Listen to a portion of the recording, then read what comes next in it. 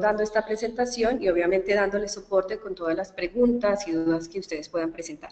Estamos muy contentos de contar con su asistencia, bienvenidos a formar parte de esta iniciativa de Móvil. El motivo principal por el cual estamos realizando este webinar es porque hemos visto una desinformación sobre lo que es ads.txt.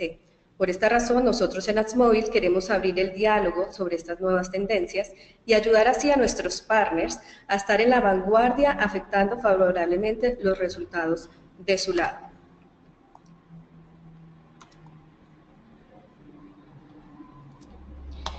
Lo que queremos alcanzar con esta presentación son los siguientes puntos. Prácticamente que ustedes entiendan el concepto de qué es ads.txt, cuál es su funcionalidad, cómo se integra y obviamente las preguntas generales. Tenemos unas preguntas estándar y las preguntas ya que ustedes eh, tengan, ahí vamos a estar pues un poco más dinámicos, esperando ya sea pues su participación de forma escrita o también podríamos estar habilitando el micrófono.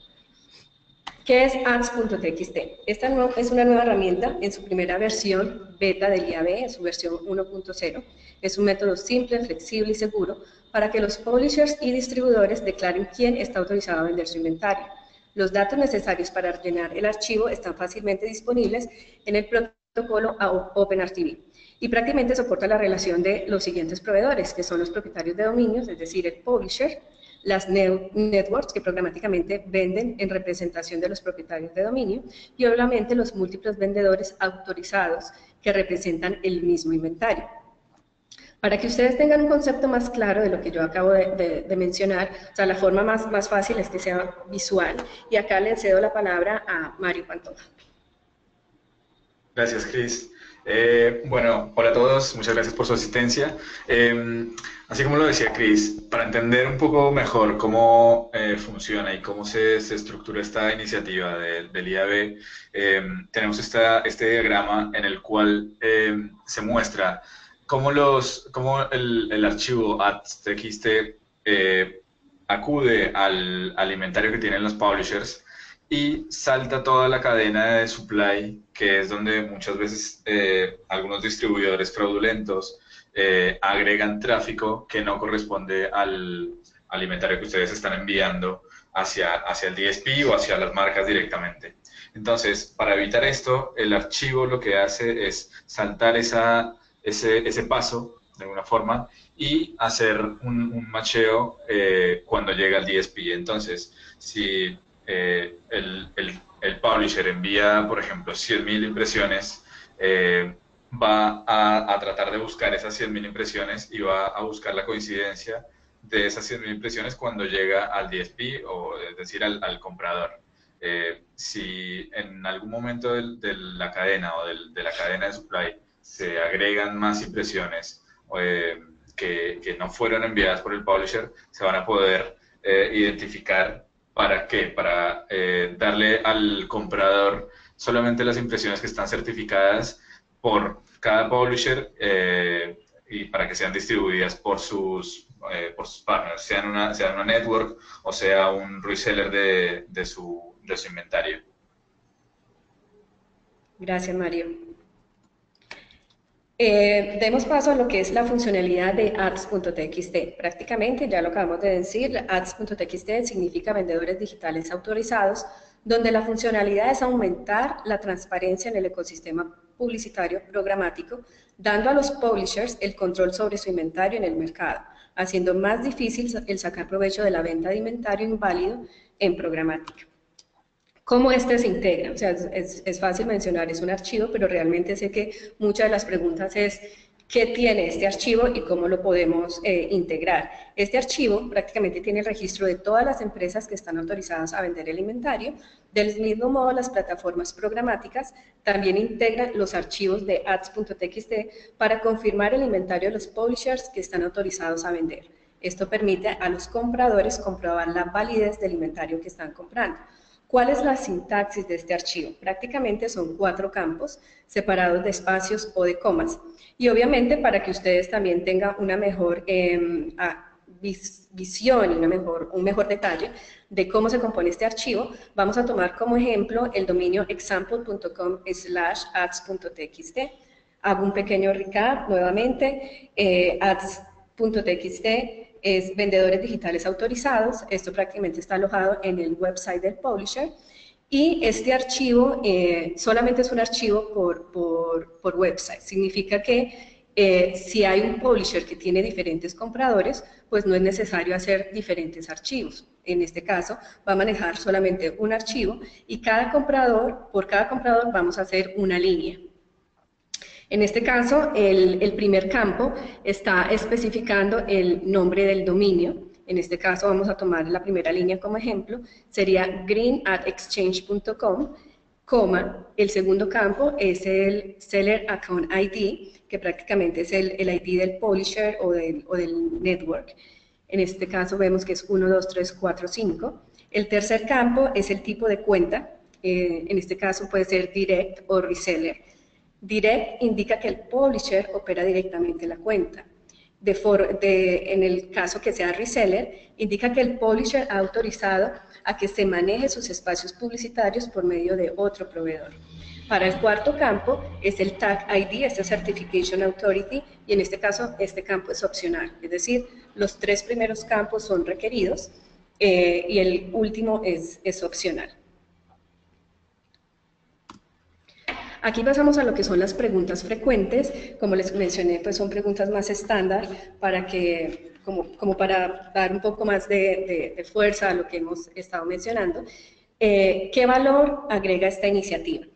Eh, el valor que agrega es transparencia en el, en el inventario que se está comprando, como saben, la reventa de alimentario no autorizado es una constante en el inventario, en el ecosistema programático. Los compradores no tienen la posibilidad de saber qué SSP están autorizados a vender el inventario de un publisher en particular. ¿Cuáles son sus limitaciones? Las limitaciones estarían para aquellos SSP donde el inventario es fraudulento. Teóricamente funciona así. Si se recibe inventario no etiquetado como válido, pues esta solicitud no se va a pasar, es decir, es rechazada automáticamente. ¿Quién gana con esta iniciativa? Aquí prácticamente todos ganan, o sea, gana tanto el comprador, que sabe que está comprando la audiencia indicada, y gana el publisher, quien al poner su inventario transparente tendrá toda la relevancia hacia los clientes, aumentando de esta manera su visibilidad y sus ingresos. Aquí me gustaría, eh, digamos, aquí ya culminamos esta parte en, en específico de qué es, cómo funciona. Y me gustaría como compartir y hacer un poco más dinámico, que ustedes nos compartan pues, las preguntas que tienen, eh, las dudas que tienen, si son cosas de pronto más técnicas, personas que de pronto ya están, o sea, ya tienen, eh, ya han empezado a, trabajar con estos archivos y tienen de pronto un poco de preguntas más, más profundas, pues obviamente les estaremos dando el soporte necesario. Y en el caso que sea algo más, más eh, técnico, también estaríamos contando eh, eventualmente con el soporte del IAB y en este caso, pues obviamente ya nos contactaríamos con ustedes y trataríamos de darles el soporte que, que, sea necesario. Eh, aquí Ana nos va, a, nos va a colaborar como para, para tener toda esta información de los que quieran participar. Gracias, Cris. Eh, sí, para cada uno de los, que, eh, de los participantes, asistentes que quieran hacer preguntas, que quieran eh, aclarar sus dudas, pueden levantar la manito en donde está la opción en el control de la plataforma o nos pueden mandar también un mensaje directo si tienen alguna duda. También podemos, eh, si quieren preguntar eh, directamente, les podemos aceptar que puedan abrir el, micrófono para que, para que hagan su pregunta. No sé si tengan alguna duda.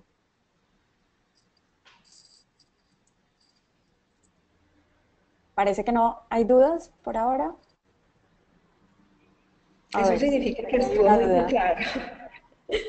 Sí, parece ser que estuvo muy, muy Estuvo claro. Bueno, eh, también pueden enviar sus, consultas directamente por correo electrónico a través de contacto